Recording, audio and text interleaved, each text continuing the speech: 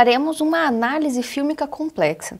A intenção é de que vocês possam desenvolver uma linguagem, uma metodologia em sala de aula não somente com os alunos, mas também possa administrar com outras turmas. Pensar não apenas numa sala que a gente uh, que tenhamos apenas aquele modo seriado, mas sim multisseriado.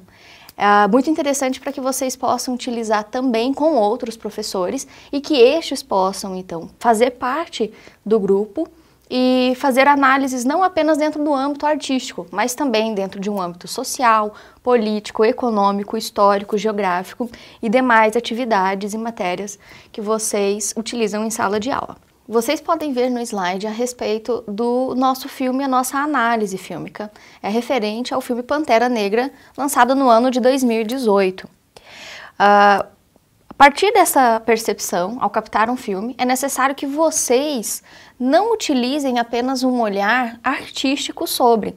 A ideia de uma visão complexa é que vocês possam permear por todas as outras áreas em que o ser humano desenvolveu, seja ela de cunho social, seja ela de cunho político, seja de cunho econômico e, claro, comportamental.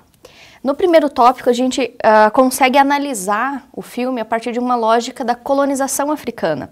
No filme, nós temos não somente uh, uma aproximação da nossa realidade, mas, claro, uma aproximação não a partir apenas de um viés real, mas também de um viés lúdico.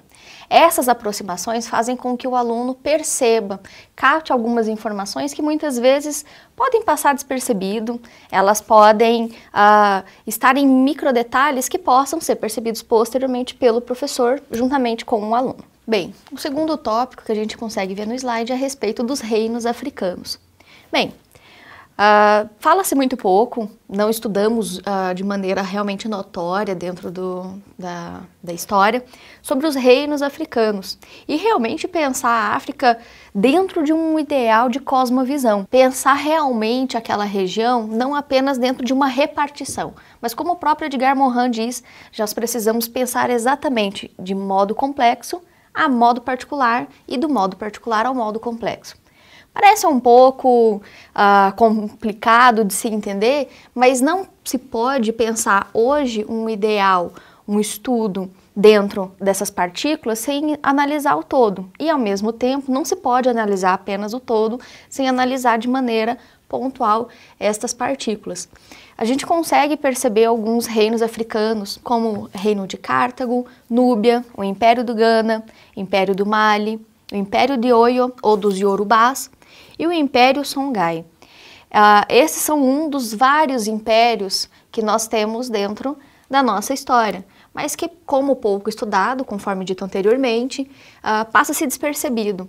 Ao captar através de uma análise fílmica complexa, utilizando do Pantera Negra, a gente consegue trabalhar exatamente essa perspectiva e trazer outros reinos, outras uh, análises e, como dito também anteriormente na colonização africana, perspectiva de professores de história, de geografia, de matemática, língua portuguesa, de literatura e assim por diante.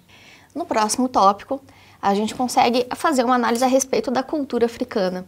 Qual é a percepção, afinal, de nós professores, alunos, enfim, de artes a respeito de como se trata a cultura africana. Dentro do filme a gente consegue captar vários desses sentidos. Uh, nós conseguimos ver também desenhos, a gente consegue fazer uma análise a respeito da, do público que foi gerado dentro do filme Pantera Negra. Uh, não apenas daqueles que a gente enxerga dentro do filme, mas também aqueles que trabalharam por, por trás, a fim de que possa, então, uh, manter uma integridade da produção do filme, não apenas numa perspectiva uh, ocidentalizada, mas também numa perspectiva africana ter essa percepção como professores, como uh, alunos de arte é importante. É necessário que a gente passe a desconstruir um pouco desse paradigma ocidentalizado que foi imposto a nós e fazer sim uma análise de cunho muito diferenciado, uh, sob uma perspectiva realmente antropológica, para que a gente possa então atribuir vários efeitos dentro desse filme, juntamente com o conteúdo que está sendo dado em sala de aula. Dentro de um filme, a gente consegue perceber várias uh, perspectivas artísticas que são desenvolvidas ali dentro. Bem, dentro dessa ideia, dentro do filme a gente tem uma produção uh, fotográfica, nós temos a produção de vídeo, nós temos o trabalho com o figurino, nós temos a questão da maquiagem, nós temos toda uma pesquisa histórica que é realizada por trás, nós temos sempre uma análise sociológica de como que vai ser o impacto desse filme.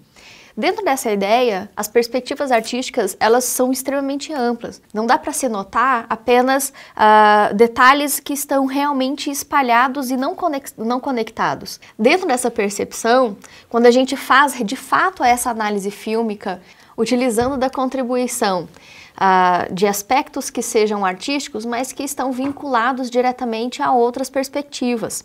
Dentro do filme a gente tem sim uma representatividade feminina muito interessante, uh, não apenas de uma mulher que normalmente é representada como frágil, mas sim de mulheres fortes, empoderadas e que participam e coparticipam dentro da narrativa fílmica de maneira enfática e que de fato o seu papel não está vinculado apenas a uma perspectiva uh, sempre uh, subordinada ao principal, mas possui uma narrativa própria, uma complexidade e uma profundidade uh, desses do, do, seu personagem dentro desse universo. É interessante também percebermos que quando você, professor, for fazer uma análise fílmica, uh, seja o Pantera Negra, seja qualquer outro filme que, que trate a respeito dessa temática, tenhamos sempre um posicionamento crítico.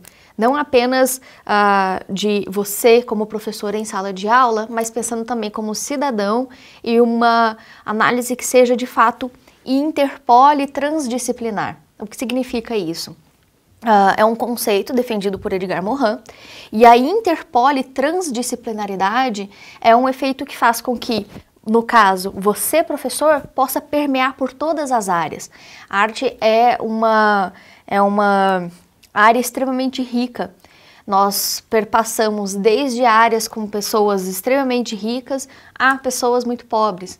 Nós temos ah, variações também políticas, seja de extrema direita, seja de extrema esquerda. Nós temos análise extremamente ricas economicamente, ah, em perspectivas territoriais, seja norte ou seja sul. A arte ela permeia por tudo isso e trazer esse aspecto crítico tanto para o aluno quanto para os demais que estão participando dessa análise é essencial.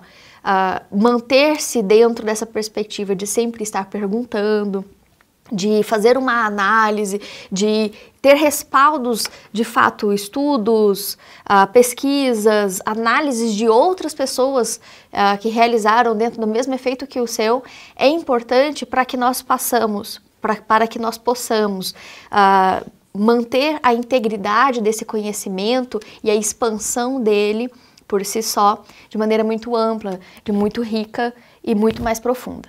Eu espero que esse vídeo tenha sido de grande valia pra, para que vocês possam, às vezes, refletir novamente a respeito de como que nós faz, fazemos as análises fílmicas que são lançadas e que Claro, não apenas dentro da perspectiva de que esses filmes que possuem grande bilheteria possam ser um, um elo que se rompa de analisar como se tivesse uma perspectiva apenas econômica, mas também de aproveitar exatamente esses filmes para que nós possamos uh, trazer realmente a comunidade, as pessoas próximos de uma análise que seja de fato um pouco mais contextualizada, de pesquisas, e que isso realmente tenha uh, frutos muito mais proveitosos a vocês.